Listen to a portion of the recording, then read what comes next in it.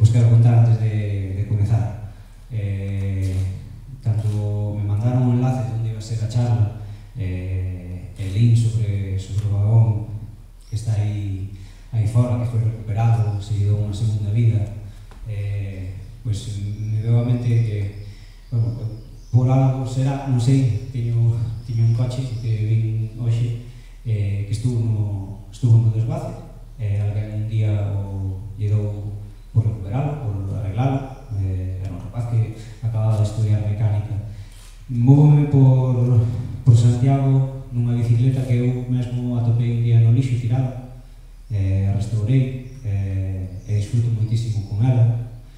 E, e bueno, vim mí aquí hoxe tamén, pois, pues, porque, porque tamén tuve unha segunda oportunidade e, e me, me emocionou, me, me chegou adentro eh, pues, eh, un pouco o lugar, eh, esta segunda vida que se lle, que se llevou a este sitio e me, me, me gustou moito eh, o poder estar hoxe aquí.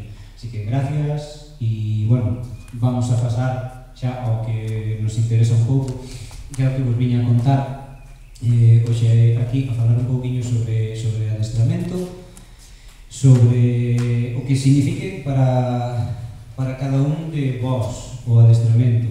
Eu algúns non vos conozo, outros sí, pero máis ou menos por perfil eh, creo que pode haber un pouco de todo, pode haber quen este máis orientado, como decía Iván, a reventar aos compañeros o domingo na saída, Eh, ahora que temos eh, Strava todos e tal, pues a facer aquel con eh, que tan fulanito e siuquito eh, a participar en marchas cicloturistas eh, oye, poder disfrutar, non sufrir tanto eh, a poder ir cos compañeiros ou mesmo a eh, pues como, como decía Iván, ese punto de eh, da saúde non? Eh, mm, facer deporte, levar unha vida saludable e facelo o mellor, o mellor posible.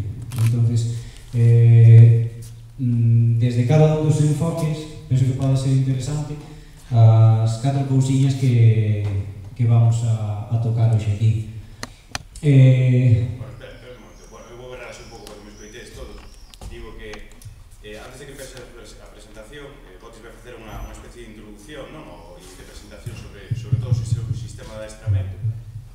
puxei un, un hashtag que era que non plus fliparse que vexo en todas as túas publicacións pero que significa? Pois, pues, eh, eh Espera, se se quero, porque a verdade é que eu non acabo de entenderlo de mofe. ven un pouquiño, eh, podese aplicar a todo, eh, por eso eh, en, en casi todas as publicacións. Falabas ti da, de gastarse dinheiro nunha bicicleta, ou, ou de mirar eh, excesivamente os, os números.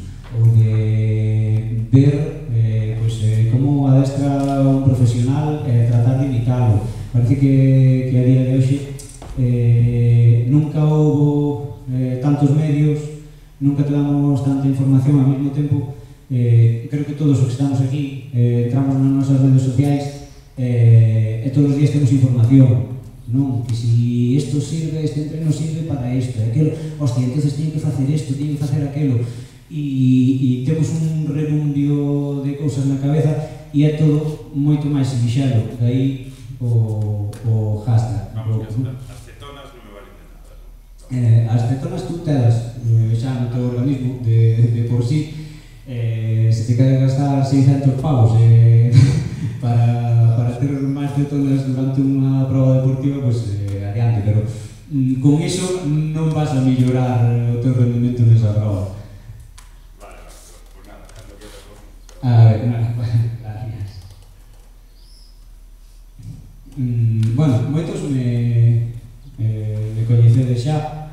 Eh, aí está un pouquiño pois, eh, quen son eu. Eh, quizá a parte que, que moitos descoñezades eh, se o último apartado, eh, aproveitei o tempo de pandemia para formar un pouquiño, para aprender todo canto cuide, eh, fixeno co, co ISAP, eh, fixen dous, dous títulos, e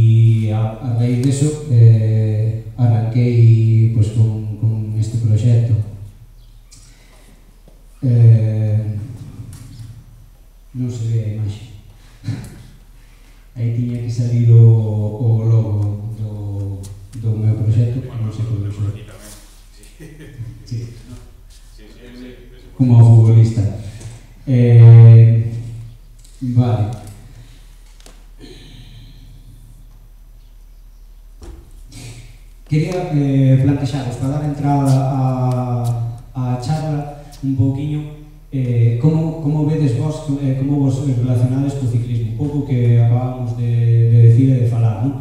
Eh, uns máis orientados ao mellor a competición, ao rendimento, outros a saúde, outros a mm, facer cousas durante o gran, acudir a, a marchas, eh, está un pouco resumido eh, nesta imaxe, non?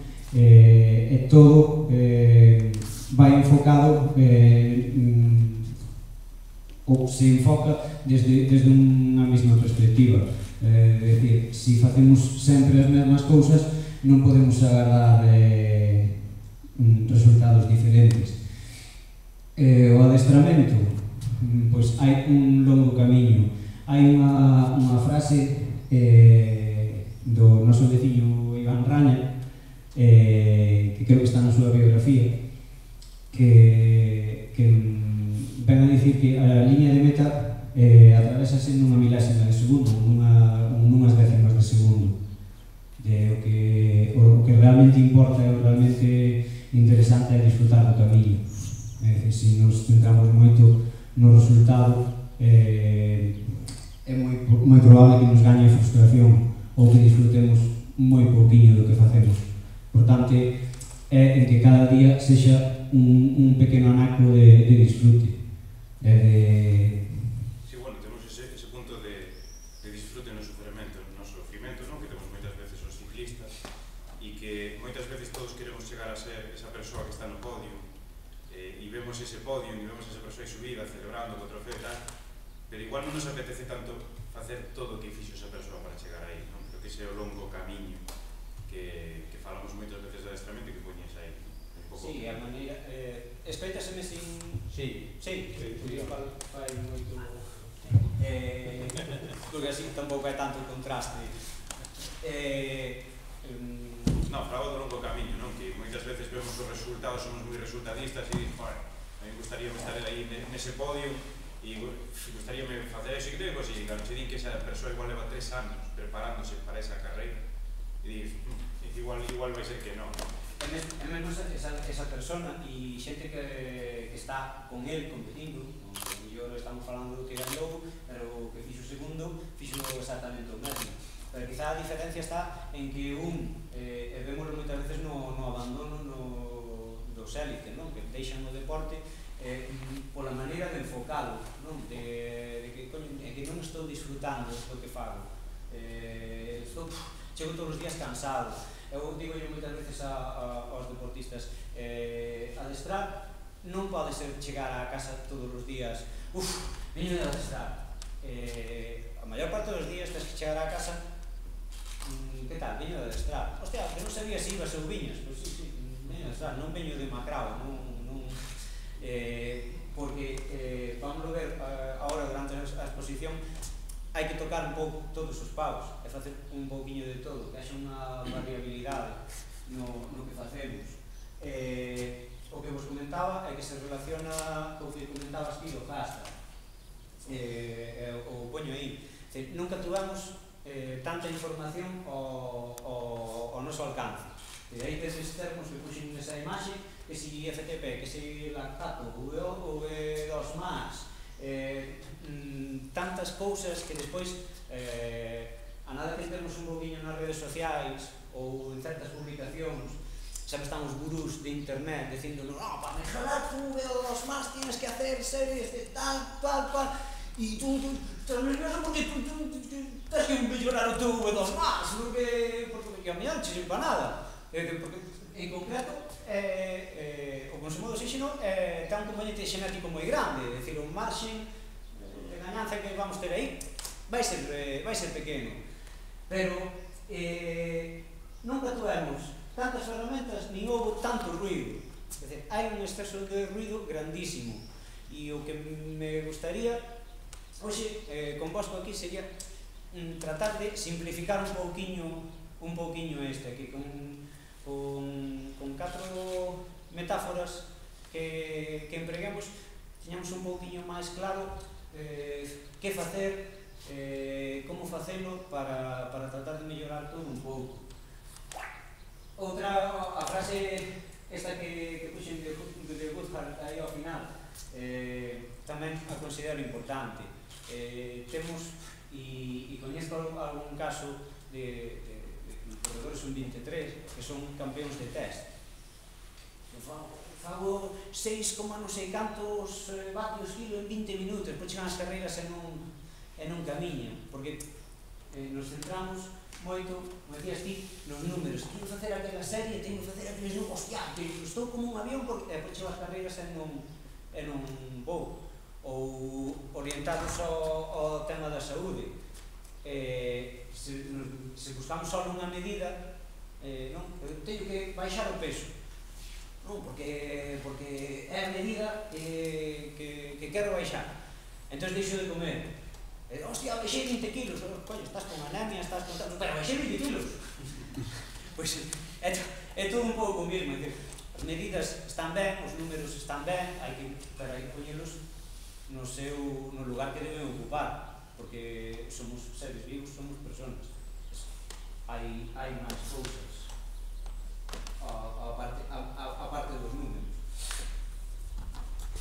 Entonces, que cousas que cousas hai, non? Eu poñei por onde poñamos, por onde empezamos, por os principios.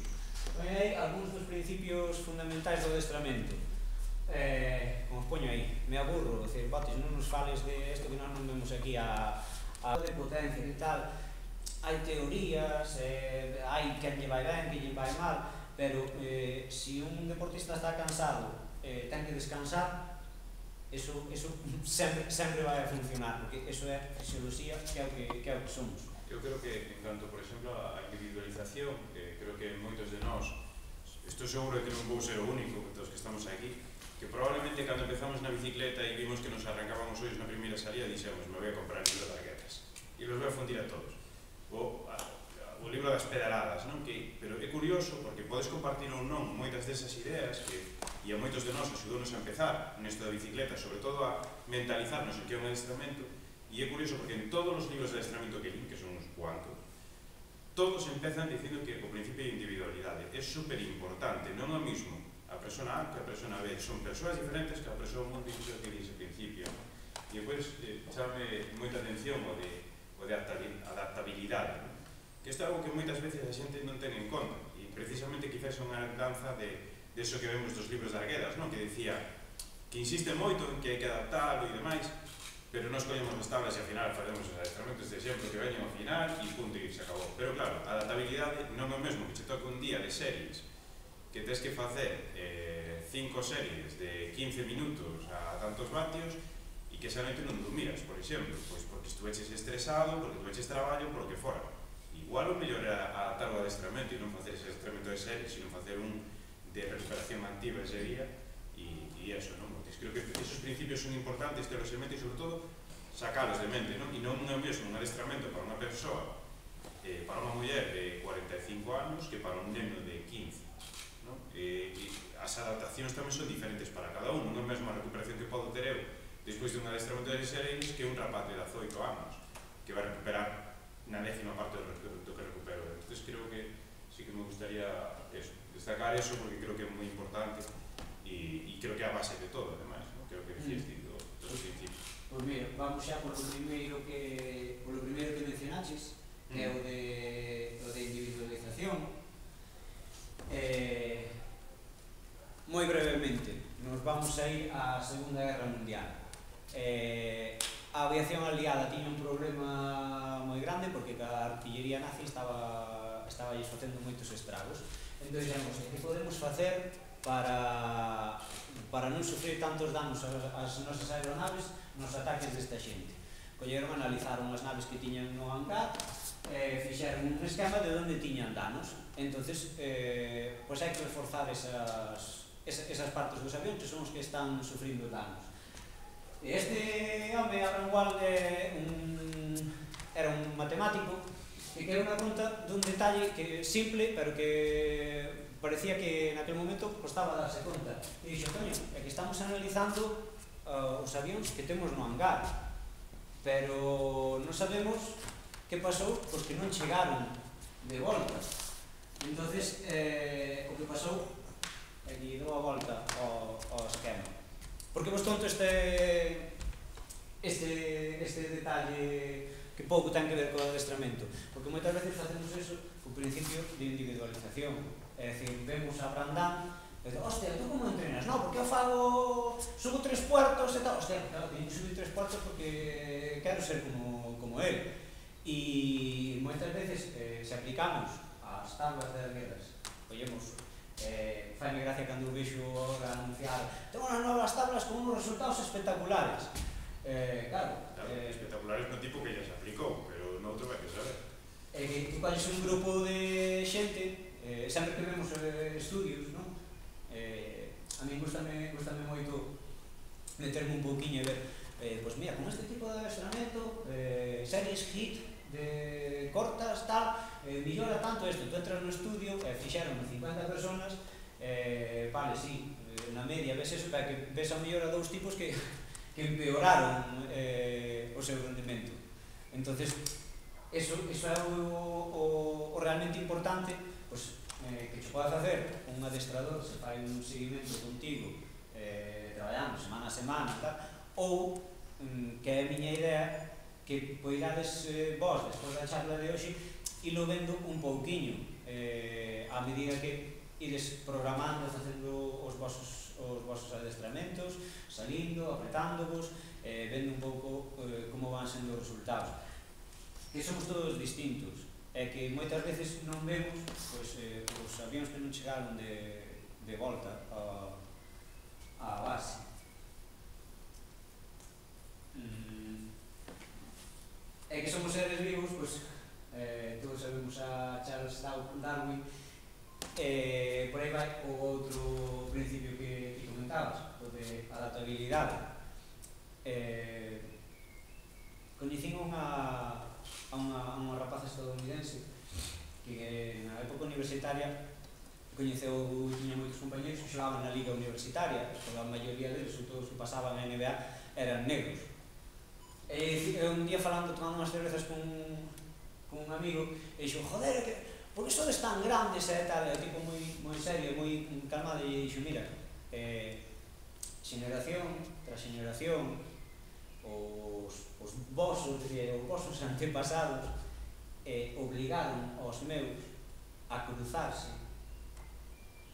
A muller máis grande e o home máis forte que temos aquí de esclavos para dar traballadores máis fortes e máis resistentes.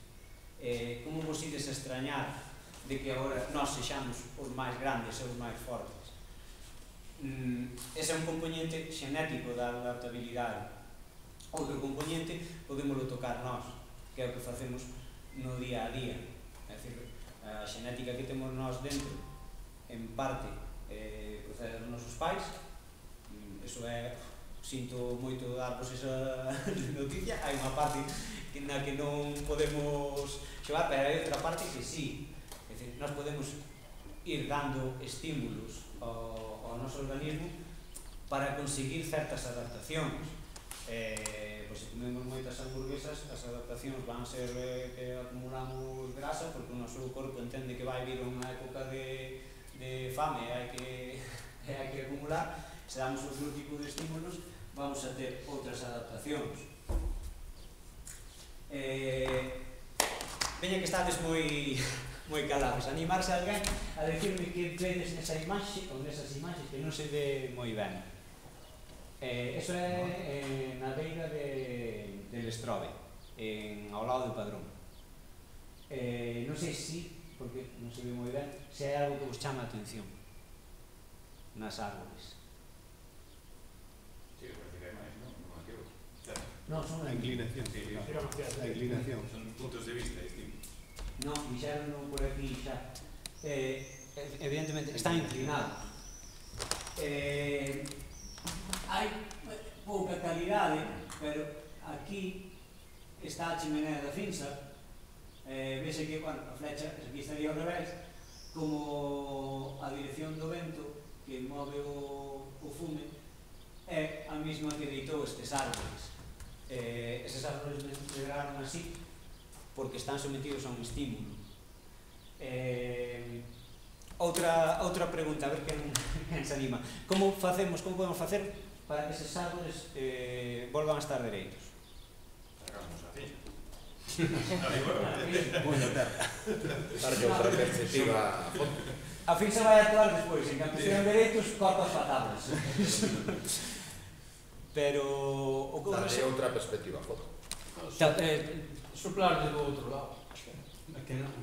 Por exemplo, por exemplo, decir, dar outro estímulo. Eh, eses árboles, pois pues, non sei os anos que poden ter, pois durante 15 anos recibiron un estímulo que é o vento de norte. Si se si lle cambiamos ese estímulo, é moi probable que volvan a, de feito, eh, si tuvera máis calidade a foto vería se a parte máis frondosa está a parte que non lle dá o vento pois como, como dixeres ti se cambiamos a dirección do vento mm, se os trasplantamos e damos a volta vamos a, a conseguir que se vayan enderezando. Eh, xa sabemos adestrar un árbol. Pero bueno, tamén hai que dicir que se iso medra 15 anos así e despois se pos 15 anos do outro lado tampouco vai quedar perfectamente dereito é dicir, vai haber cousas que son irreparables igual que nós. É fundamental o deporte e a vida saludable desde pequenos. Decir, eh, hai, estou facendo agora mesmo un, un traballo, un estudio con rapaces da escola do, de, de Ribadumia. Eh, estou aprendendo algo sobre eso e é fundamental eh, o que se faga de pequeno, sobre todo, eh, orientado á forza, ao traballo de forza, eh, marca desde pequenos, desde, desde, desde, desde os rapaces de escola, marca o rendimento a futuro, pero dunha, dunha maneira moi importante. Moi importante. Entonces, eso é eh, outra parte que moitas veces non depende de nós, sobre todo cando nos acordamos xa de maiores de facer deporte. Pero é verdade o, o que distí, eses árboles agora eh, para endereitarnos iba nos costar... Algún efecto vai quedar. Si, sí, algún defecto mm, eh, pasou unha minha, non empecé a coirar, eh, xa era tarde. Pero... Ah, Te algo que sona eso, sí, porque... Pasamos, xa vedes, pasamos de ir para a metro a, a vir aquí a dar charlas sobre a Estremente, imaginar un, pouco por onde van os tiros, non? pois eso, pero bueno, eh, chegamos moi rápido a, a donde eu quería chegar, o sea, que non, non imos mal. Xa sabemos adestrar un árbol, por exemplo, por, por lo menos para, para que me de dereito. Eh, aquí temos a Miguel, de fondo, que é o, o, o noso editor. Eh, ese logo é dun, dun blog que, que publico na, na súa web eh, casi todas as semanas. Eh, donde explico os estímulos desde un punto de vista relacionado co mundo do motor, que a mí sempre me gustou moito, eh, vamos a enfocar o que falemos eh, ahora un pouquiño desde, desde aí, desde os símiles que uso eu aí, eh, pero se algún non lle gusta o motor non vos preocupar porque vai ser simple. De acordo?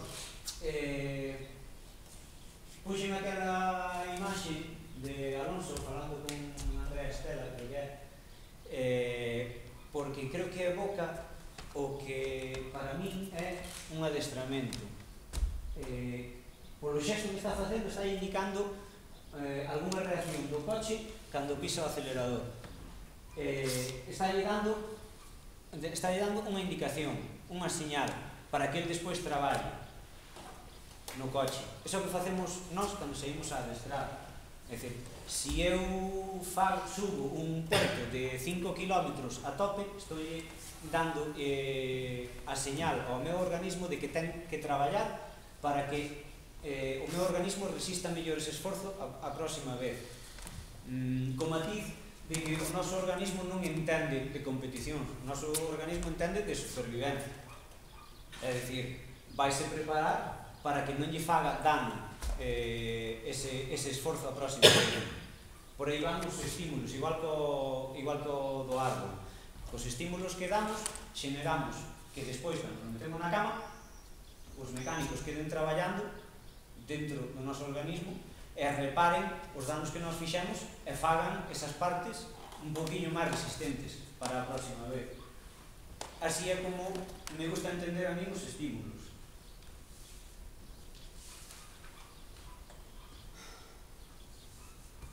Entonces, como falo desde a perspectiva da mecánica, conto sempre que temos mm, tres motores. Tres motores que son tres vías metabólicas fundamentales de donde, de donde o noso corpo obtén enerxía para desde, desde camiñar hasta correr, nadar, eh, incluso para estudiar, o noso cerebro necesita tamén enerxía eh, obtena de tres vías metabólicas distintas.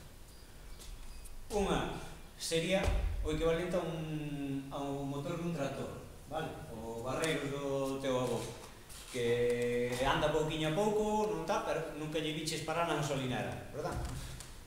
Eh, outro sería, pois, sin entrar en detalles, un, temos un motor de 16 válvulas que traballa normalmente só con 8 e cando, cando apretamos o acelerador de verdad entran a traballar as 16 válvulas igual que ese modelo de, de motor que, que deseñou Honda nos anos 80 e eu quero que vos guste a Fórmula 1 sabedes que os coches de competición levan un pequeno motor eléctrico que os pilotos en determinadas situacións poden utilizar para facilitar un adiantamento. A un pequeno aporte de empuxe de enerxía extra que dura uns, uns poucos segundos. Pois iso é outra vía metabólica. Eh, e nos contamos que as tres, e as tres hai que tratar de traballadas. Usan distinto combustible. Me decía, o, o, o trator de, do, do noso avó que apenas, eh, que apenas gasta, tamén anda pouquinho eh, sería o metabolismo das grasas de acordo? eh, non, non as que acumulamos aquí, senón unha vez que se soltan no torrente sanguíneo e circulan, utilízanse como combustible.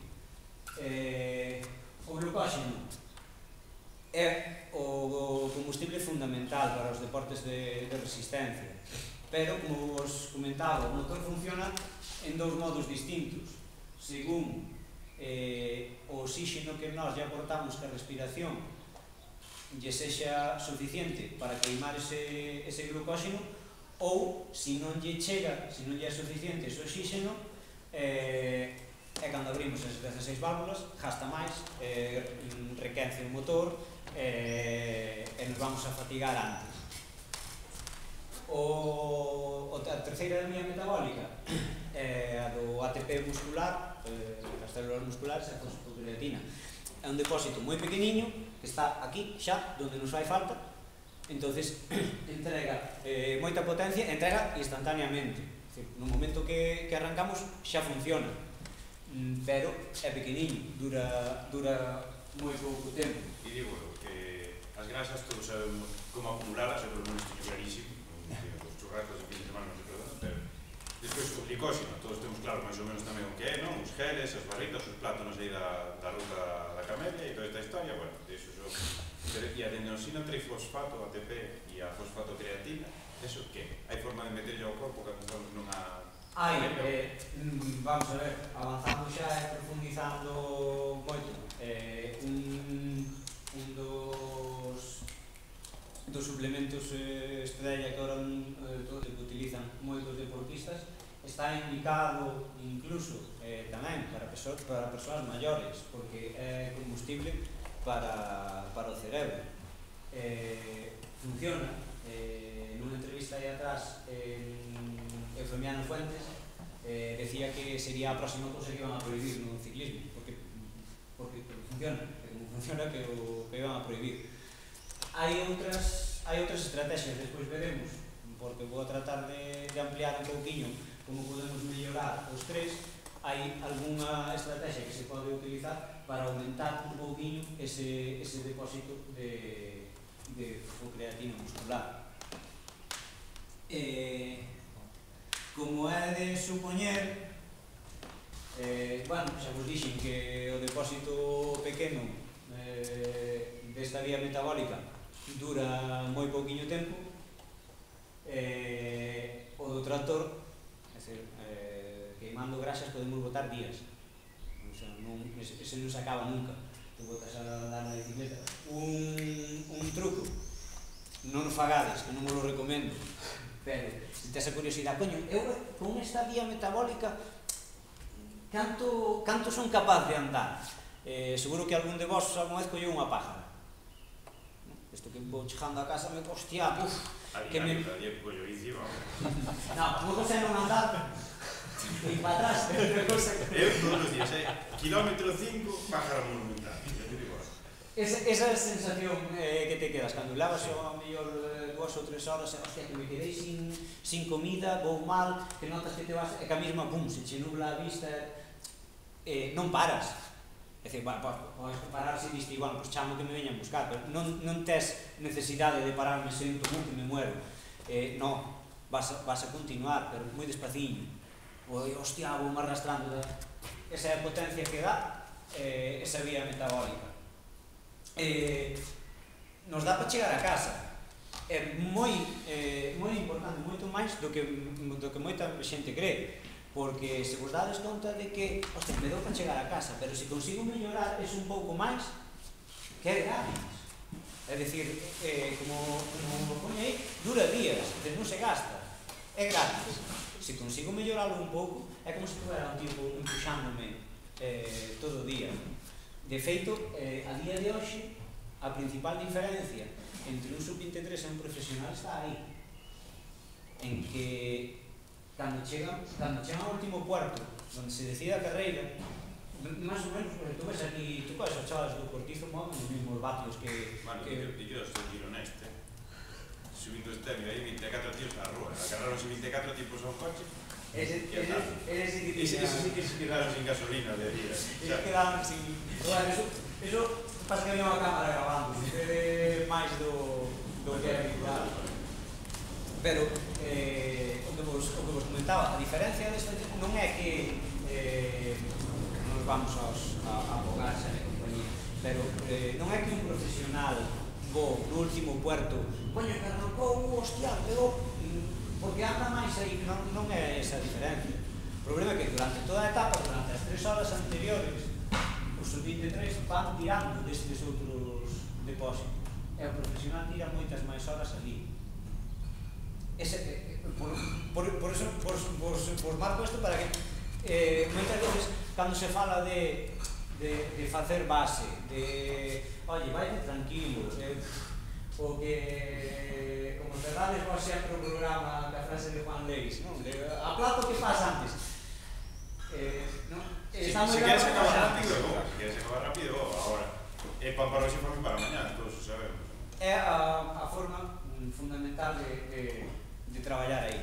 Eh, a, a vía do, do glucóxeno separo aí máis ou menos, é orientativo. Eh, donde estamos aportando o suficiente oxígeno para, para queimar ese, ese glucóxeno, vamos tirar aí unha oriña, aproximadamente máis, eh, tamén vai depender do que vayamos eh, aportando, que é moi importante durante o adestramento. Cando xa subimos de aí para arriba, cando vamos a por ese com, non que, oh, a ver si tal, unha vez que chegamos aí a ese tope, dous minutos, unha persoa, un élite, pois, igual, chega a 4, 8, depende de, depende, eh, principio de, de individualización, depende moito tamén da, das cualidades de cada un. Pero un pouco a idea eh, da autonomía é esa. Eh, este é o perfil máis ou menos dun cicloturista de 35 anos que acaba ben quebrando huesos dun, dun a mellor un non sei, un máster que acabe regularmente as carreiras máis ou menos. E o que vos, o que vos comentaba. Ali porque pois, puxen 180 vatios poden dar aí 170, 200 eh, darse conta que subir aquelo, subir aqueles vatios ali supón eh, a 180 vatios nun pelotón nas carretas nas que corro eu non vas na roda no pelotón. Eh, se subes eso hasta 200 vas gratis ali na roda. Eh, na grupeta os domingos cos compañeiros eh, se conseguimos ir aí eh, vamos ter todo eh, guardado para despois para cando nos, para cando nos faga falta eh, o, a, vía, a última vía metabólica eh, que máis potencia entrega fundamentalmente por eso porque é directo, temos aquí e dura moi pouquinho como, como vimos antes. Así que le mandaron pago a un compañero de grupete que decía que va a quedar. Efectivamente, o, é eh, dicir moitas veces eh, tiramos de destas, destas eh, comparativas eh, e collemos no? que fulanito move 1200 vatios ou vemos os pros eh, o da tostadora non, non sei se vistedes sí. Ah, eh, claro, 1800 vatios eh, en, en 10 segundos cando realmente pues, un profesional os sprints se ganan a 1200, 1300 eh, pero entón está a, a ventaxa de traballar esta vía metabólica eh, traballar os, os esforzos máis intensos. Se deses mil vatios conseguimos que o noso deportista mellore e chegue a facer picos de 1200, cando vai nese pelotón no que falamos a 200 vatios, eh, en vez de ir ao 20% o seu máximo, vai ir ao 15% do seu máximo. Entón, eh, vai, ter, vai ter relación en todo, é dicir, non é só eh, aquí non só traballan os sprinters eh, non só me interesa eh, ser capaz de facer moita forza se son sprinter vou acabar sino que se teño capacidade de facer moita forza cando vou un poquinho máis despacio cando vou, vou un poquinho máis relaxado vou ir aforrando tamén combustible no... Por decirlo de alguma forma sería como un coche que probablemente chegue a 7.000 revolucións un e outro chega a 5.000 pois pues probablemente o de 7.000 vai a gastar menos a mil revolucións que de 5.000 a, a mil revolucións, algo así. Sí, ou se queres tamén, se tes un coche de 100 caballos e outro de 200 caballos, eh, a 100 km por hora pola autopista, un vai gastando máis e o outro vai gastando menos. Mm. Non depende. Bueno, non sei, se moitos de vos, algún de vos ten potenciómetro, dos que estáis aquí, algún de vos sí. utiliza potenciómetro? Non. Bueno, rodillos. Para, para que vos fagades unha idea co tema do, do potenciómetro, Sí, pero está ben, sí. Para que vos fagáis unha idea do tema do potenciómetro, eh, el, o que se refire con 1000 vatios, imaginadevos sentarvos nunha bici en parado, nunha costa e apretar todo o máximo que tedes. Bueno, pois, se non adestrades ese tipo de cosas, probablemente non estéis chegando aos 1000 vatios. Salvo que seas unha persona que pese igual máis de 80 kilos ou algo así. Que aí sí que probablemente estea alcanzando mil vatios. Os 180, eu digo como referencia miña, que peso uns 70 kilos agora mismo, eh, para mí os 180 vatios no estado de forma que estou agora e ir neste punto que xa che costa empezar a falar e eso que vas, vas andando normal pero notas que vas facendo forza cas pernas e che costa falar e que eso seguramente se correspondería neste gráfico ca parte media do, do punto medio ¿no? se, che costa, se che costa empezar a falar estás aquí aí, exactamente aquí. Ese punto, ese sería o punto medio e ese punto cando xa empezamos a hiperventilar e tal sería un poquinho máis para arriba, non? Creo que sería, e o punto alto sería abtómenes. É dicir, gastar esa bala que tes no corpo apretando as pernas a fraco para sacar a máxima forza que teñas nas pernas. Non? Creo que un pouco a, o paralelismo que podemos facer, porque sí que é certo que os números dos vatios poden ser un pouco confusos, e incluso cando se compra un potenciómetro ainda pasa un período longo hasta que se adapta e se fai a idea de para que son os números, pero probablemente eh, tamén depende incluso do peso, porque en realidad non é eh, subindo un puerto de montaña un tipo de de 60 kilos que sube 300 vatios vai se papar un tipo que pesa 100 kilos e que vai a 300 vatios porque é unha relación peso-potencia non? entón é un pouco máis complexo pero para que os fagáis unha idea esa primeira parte é ese rodar fácil esa segunda cando xa empezamos a facer un poquinho máis de forza e xa nese punto intermedio sería cando nos empeza a costar a falar un poquinho e despois xa o punto máximo a última parte sería esa forza a tope e xa prácticamente forza pura e dura, forza bruta, digamos Sí, bruta, e máis eh, tendo, tendo en conta eh, o, o que falamos do, do tempo. Eh, porque, porque claro, este, este foi é o único sitio onde puxen vatios para... Sí, para bueno, que estaba anterior, estaba anterior, sí. Pero, pero realmente eh, que non ten un potenciómetro pode levar a engano eh, a este, esa vía metabólica o, motor este eléctrico, 6.000 vatios. Eu xa un sprint con un colega de aquí ao contenedor. E xa, chegando ao final xa o gastamos. Xa non estamos aí, xa estamos... Que pasa? Que tú tens fatiga, necesitas aire, eh, o pulso sigue subindo, tal, pero xa non, estás, eh, xa non vas a estar aí facendo tanta forza. Eso mm, mantense moi pouco, durante moi pouco tempo. Mm. Pero bueno, eh, non, vos, non vos vou falar máis de, de vatios, porque No, no, está ben, está ben. Oíde, eu creo que xa sabedes, xa dixen antes, eu son dos que mira todos os numeritos e, de feito, creo que é unha ferramenta moi útil, pero eh, sí que creo que ti insistes moito na, na navalla de, de botes, non? Sí. Na, nas sensacións, moitas mm. veces, non? Non todos son números, non todos son ten que facer 40 segundos, ten que facer... Eh, moitas veces tamén son as sensacións, e se tens que facer 10 series de dous minutos, pois igual cando estás na 8 non podes, non estás feito e é mellor parar aí seguramente que, que intentar facela, non? igual faz un estropicio. Entón, moitas veces, eh, tampouco non todos somos vatios, os vatios axudan e hai que saber manexalos, pero tampouco sirve ter un potenciómetro se tampouco sabemos interpretarlo. Entón, a veces as sensacións e os tempos, as duracións, ah, penso que, que axudan moito aí, sí. Un, un pouco o, o, o que procuro que, eh, explicar mm, na charla, un pouco con estes, con estes símiles que, eu uso eso. Eu cando, cando empecé a usar o potenciómetro, a mí estaba botando todo moita sorte, me estaba botando a man cos entrenos que estaba goloso. Eh, eu, o cando vamos tirando da grupeta porque queremos... Si fala, si, si fala moito porque vai, vai despacio, hai que meterlle máis o público. Eh, o volumen está aquí. Sí, exactamente. Tocate un poquinho na vez, vai baixando o volumen, eh, hasta, a non ser que non teñas ti mando ese día. E eh, bueno, seguimos, que non quero alargar demasiado. Eh, esta diapositiva, pois, non, por, para que vexades que eh, Botis non se está inventando as súas cousas, que non, eh, non se ve moito, é de Asger Jackendrop, que é nutricionista, é unha referencia a nivel mundial eh, nos deportes de resistencia. Eh, esa diapositiva, onde lle puxen eu os motoriños aí ao lado, eh, ven a reflexar o tempo eh, que cada unha das vías metabólicas tarda en agotar o depósito desde que se chega ao máximo de intensidade. Como vedes arriba, eh, xa vos indica ali 5 ou 10 segundos, 1 ou 3 minutos, eh, 90 minutos, e o trator, pois, máis de 2 horas, é dicir, que aí non... Aí, aí podedes decir